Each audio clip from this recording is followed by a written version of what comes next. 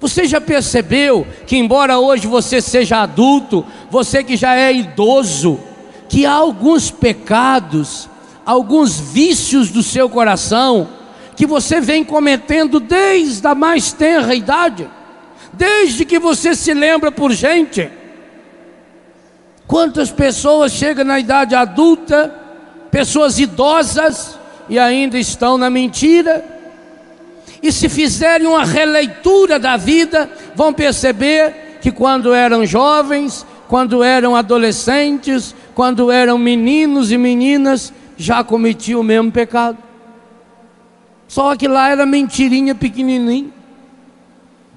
O que que explica essa universalidade do pecado?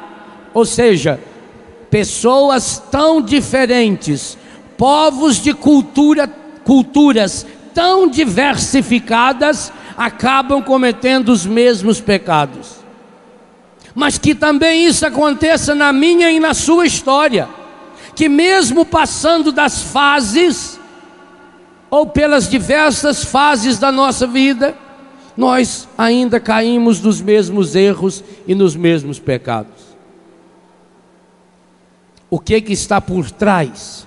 Desse pecado comum que o mundo inteiro comete, desse pecado que nós cometemos a vida inteira.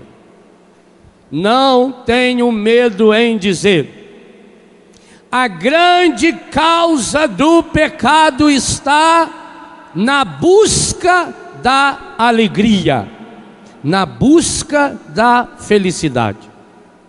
Ninguém erra, ninguém peca por amor ao pecado.